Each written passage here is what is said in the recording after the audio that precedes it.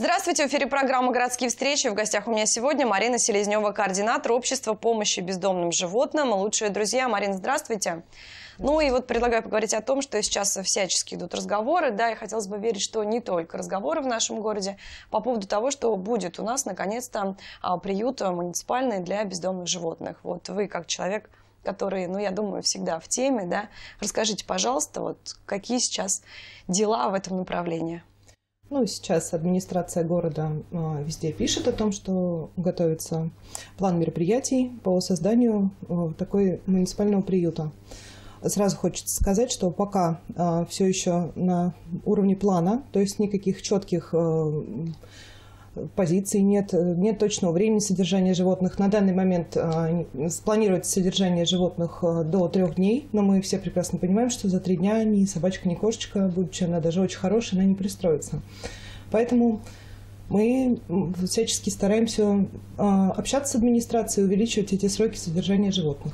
А, ну я так понимаю, речь идет о том, что приют будет вместо вот лайки.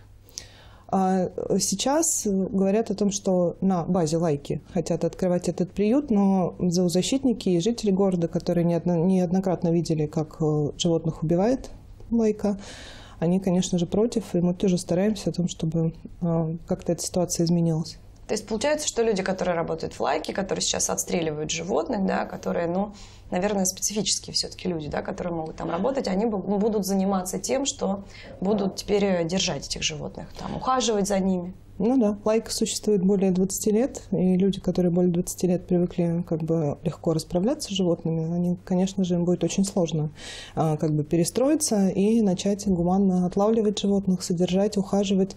Ну, в план входит э, то, что там будет ветеринарный врач, будут работники, то есть увеличенное количество работников, не как сейчас два ловца, то есть будет четыре работника.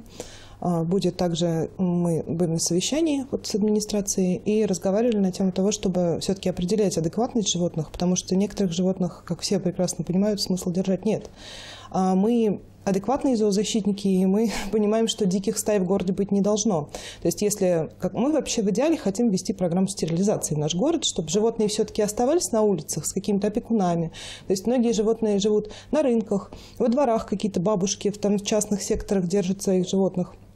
Мы хотим, чтобы эти животные могли продолжать жить на улице, просто не принося никакого вреда окружающим э, людям, чтобы они были привиты, стерилизованы и продолжали жить.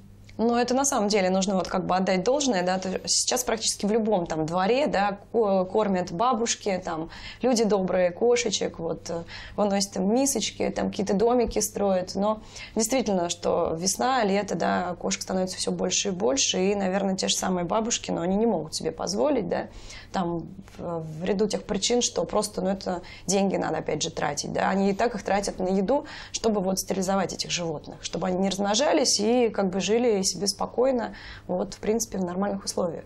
Но помимо того, что они размножаются, они же еще и болеют. Многие ЖЭО закрывают, вот э, какие-то коммунальные службы, они закрывают кошек в подвалах, заваривают их решетками. Сейчас с этим тоже идет очень э, много проблем, а, очень много обращений на наши горячие телефоны по поводу того, чтобы спасти кошек. И вот чтобы таких ситуаций не, ситуаций не было, конечно, нужно стерилизовать этих животных и проще их пристраивать уже стерилизованными привитыми, да. А вот касаемо лайки, говорят, что им уже запретили отстрел и что уже обязали поставить себя вольеры для передержки. А, ну да, вольеры для передержки уже а, куплены, об этом сообщено уже на сайтах администрации. А сейчас идет вот такой период плавного перехода от лайки убийцы к лайки приюту, так скажем. А, и животных, как обещают, уже сейчас начнут отлавливать. Но, к сожалению, мы слышали про вот такие случаи сложные. Но вчера вот уже был звонок от жительницы города, которая а, кормит уточек. Вот, ей помешали три собаки. Она позвонила в лайку, и в лайке отказались приезжать и усыплять животных. Как вы считаете, Марин, ну вообще вот создание приюта, приюта да, какого-то полноценного, вот есть у нас лучшие друзья – которые борются там практически за каждую кошечку, да, за каждую собачку. То есть каждой кошечке, собачке внимание, ее стерилизуют, за ней ухаживают, ее отдают в хорошие руки, причем, опять же, там никому попало, да. Вот, э, как бы есть вообще шанс, что будет полноценный приют, а, муниципальный, где будут работать люди, которые, ну, в общем, будут заниматься тем же самым. Причем это не будут люди, да, там из лайки, а люди, которые действительно будут вкладывать в эту душу свою. которые действительно будут любить животных. Да, мы очень на это надеемся, мы будем всячески этого добиваться. Этот вопрос мы прорабатываем вместе с администрацией. Нам предложили войти в рабочую группу, но, э, к сожалению, по опытам других стран, других городов, пожизненно содержать животных, как мы, муниципальный приют не будет. Мы сейчас боремся за то, чтобы увеличить сроки от трех дней хотя бы, ну, пока вроде говорят о двух неделях, будут создавать сайт для пристройства, будут вводить э, программы в школах для того, чтобы дети, тоже приходя домой, рассказывали родителям о том, что кошечку можно не купить. У нас же есть и породистые животные, и кошки, и собаки. Сейчас очень много породистых животных оказывается на улице. И как бы масштабное такое информирование людей о том, что вот это лучше, это дешевле, это гуманнее, вот спасти и взять оттуда. Мы очень надеемся, что это все-таки будет получаться у нас совместно. А, Марин, вот сколько лет лет уже существует общество на защиту «Лучшие друзья», и какие выводы уже можно, наверное, сделать, да? Какие-то выводы можно уже, наверное, сделать? Как часто берут животных? Берут ли вообще? «Лучшие друзья» существуют уже 6 лет, вот в феврале нам исполнится. А, ну, какие можно выводы сделать? Что нам удалось спасти очень многих животных. А, очень многих людей нам удалось просветить о том, что все-таки бездомные животные – это не мусор, это действительно жизни, которые стоит спасать. У нас есть а, животные, которые у нас все шесть лет живут. То есть, к сожалению, у нас не всех животных собирают. И сейчас очень много людей прониклись о том, что нужно действительно стерилизовать и бездомных, и своих домашних животных, для того, чтобы случайно где-то на выгуле собачка или кошечка не принесло потомство. Угу. И вот акции всевозможные проводят лучшие друзья, да, насколько знаю, в ближайшем будущем опять состоится какое-то мероприятие. Расскажите поподробнее. 28 февраля в Дворце молодежи, это нефтяник, а, в 15.00 пройдет благотворительный концерт «Помощь бездомным животным». Там будет театр танца 7+, а наши друзья-заводчики кошек, Роскэт клуб.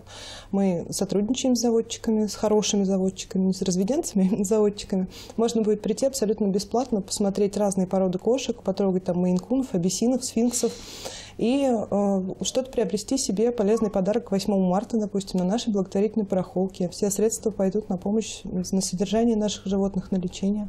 А вот многие боятся брать животных с улицы, например, да, любят ну, не знаю, считается, что, вот, например, если у тебя дома породистый кот, то это круто, да, если у тебя дома кот уличный, то это во-первых, не круто, а во-вторых, ну как можно доверять там коту с улицы, да? То есть он не будет ходить нормально в туалет, он будет там драть обои, ну и все в этом духе. Вот как вы считаете? Я думаю, что у вас уже большой опыт в таких делах. Да, но от того, что дерут обои некоторые животные, там не обязательно с улицы, не с улицы, это никто не застрахован будет драть. Насчет туалета также надо приучать. Уличные кошки, они обычно даже в этом плане не привыкли, там что-то закапывать всегда, поэтому быстро переучаются к наполнителю. Но единственное, любое животное, которое вы взяли с улицы, надо обязательно сначала принести к ветеринарному врачу, чтобы проверить э, на самые элементарные заболевания, которые передаются человеку.